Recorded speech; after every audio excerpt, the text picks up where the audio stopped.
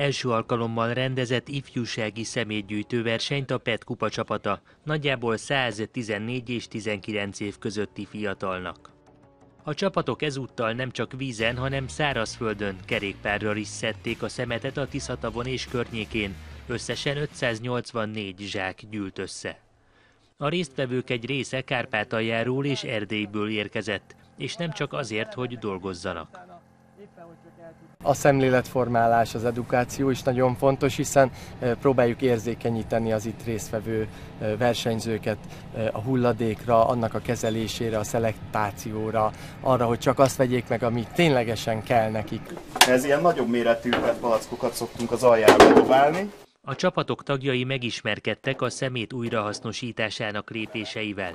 A verseny egyik állomásán megtanulták, hogyan lehet a palackokat szelektálni és bebálázni. Így jön ki a műanyag, hogy ezt nyomom le. Egy másik helyszínen az is kiderült, hogy a vízből kihalászott műanyag kupakokat megolvasztva újra fel lehet használni, különböző tárgyakat lehet készíteni belőlük.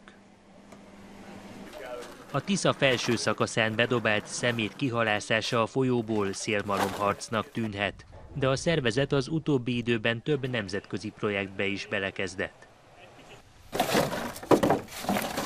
Tavaly 70 tonna ehhez hasonló műanyag hulladékot termelt ki a Tiszából a PET kupa csapata. De még fontosabb, hogy már elkezdték a forrásnál is kezelni a problémát.